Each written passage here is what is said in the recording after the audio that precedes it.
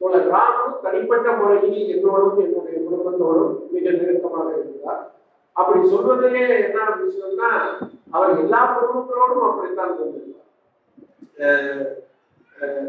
என்னோட பையன் அவனுடைய அவருடைய பேஸ்புக்ல போட்டிருந்ததை தான் சொல்றேன். நான் என்னுடைய மாமாவை மாமாவை தலைத்ததை விட ராமன் மாமாவை தான் மாமா என்று அதிகமாக அழைத்திருக்கிறேன். அஹ் தோழர் லியோ அப்போது வருவார். ஒரு போலீஸ் ஸ்டேஷன்ல யார் பிரச்சனை என்று வந்தாலும் போலீஸ் ஸ்டேஷனுக்கு போவதே அவர் இருந்தபோது வழக்கமாக கொண்டிருந்தார். ஆனா நீங்க போலீஸ் அப்போ நான் சிறுக்கு நிறுவனத்தில் பணியாற்றி கொண்டிருந்தேன். அதனால போலீஸோட நேரடியாக டீல் பண்ணதெல்லாம் நான் பண்றதில்லை. அப்படியெல்லாம் இருந்தா டிஸ்மிஸ் ஆகிடாம தப்பிச்சிருவோம்னு ஒரு மூட நம்பிக்கை வந்து அப்போது இருந்தது. ஆனா இவர் போலீஸை டீல் பண்ற முறை இருக்குல்ல அவரை பற்றியும் அவரை பற்றி தெரியாத யாராவது இருந்தா கொஞ்ச நேரத்துல இதுல யாரு போலீஸ்காரர் என்கிற சந்தேகம் வந்து யூனிஃபார்ம் இருக்காது தவிர மற்றபடி எல்லாமே இவர் தான் பேசுவார். இது அப்படி செய்யலாம் இப்படி செய்யலாம் என்று பேசுவார். ஒரு முறை பாரத் பண்ற அறிவித்தார். அன்னைக்கு போதுமான தோழர்கள் இல்லை. அப்ப பன்னீர்செல்வம் நகர் ஆளுநர் இப்படி ஒரு ரெண்டு மூணு ஏரியால இருந்து தான் மொத்தமா எல்லாரும் வருவாங்க. அன்னைக்கு ஏதோ காரணத்தினால தோழர்கள் வரல. இப்போ எம்எல்ஏவா இருந்த நிர்மா ரோசனுடைய கணவர் சிங்கா.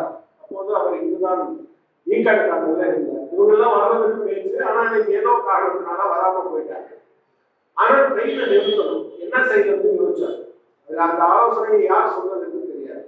சிவப்பு துணியை கிழிச்சு ஒரு சின்ன சின்ன கப்பலை கட்டி வழி நடுங்க இதுல கொஞ்சம் நிறுத்தி வச்சிட்டாங்க. இது ரயில்வே ட்ராக்ல ஆக்சுவலா வந்த லைன்ல எல்லாம் இருந்துச்சு ஏன்னா நீங்க சிவப்பு கொடி கட்டினா அவங்க நின்னாங்க அன்னைக்கு பருத்து வேற. யார் கட்டினதுலாம் தெரியாது. கொஞ்சம் கழிச்சு போலீஸ் வந்து எங்க வீட்டுக்கு மேல ஏறி வந்தாங்க.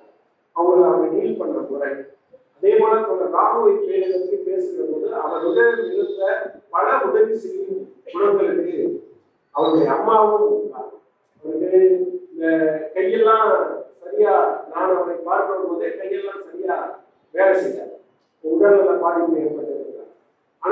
என்னைக்காவது ஒரு நாளைக்கு அவங்க வீட்டுக்கு போயிருந்தீங்கன்னா அவருடைய விருந்தோம்பலை இப்போ, மணி சொன்னார்ல சாப்பிட்டு தான் போகணும் அல்லது சாப்பிட வாழ்ந்து இங்க ராஜகுரு வந்து இருக்கிறார். இவங்க எல்லாம் இங்கதான் இருந்தாங்க. இப்ப ராஜகுரு பிசினஸ் வச்சிருக்காரு இது மாதிரி அடுத்த தலைமுறை இருந்துச்சு அப்போ இவங்க அவங்க அம்மா அப்படி வீட்டுக்கு நீங்க போனீங்கன்னா அந்த குறைந்த நேரத்துக்கு அவர் என்ன செய்து கொடுக்கிறார் என்பதல்ல பிரச்சனை.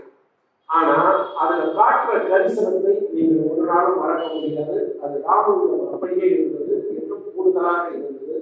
ராமு என்கிற மனிதன் இந்த மனித உலகத்தின் மீதான அவருடைய அக்கறை அதன் மீதான காதல். அதன் காரணமாக கலையில இப்ப சில நேரங்கள்ல நீங்க பிரகாஷ் சார் பாத்தீங்கன்னா அவர் நிஜ வாழ்க்கையில் அவர் வந்து ரொம்ப முற்போக்கான கருத்துக்களை ஆனா என்ன பிரச்சனைனா திரையில் அவர் கிடைக்கிற பாத்திரம் எல்லாம் நேரெதிரான பாத்திரங்களாக எதிர்மறை பாத்திரங்களாக ஆனால் தோழர் ராமன் அவர் நடித்த எல்லா படங்களிலும் அவருடைய இயல்புக்கு உகந்த மாதிரியான பாத்திரங்களை அவர் அஹ், பாத்திரங்களே அவருக்கு கிடைக்கிறது முழுமையில் அவர் ஒரு பகுதி. அவரன்றி அந்த சைகைக்கான பெருமை முழுமை வராது.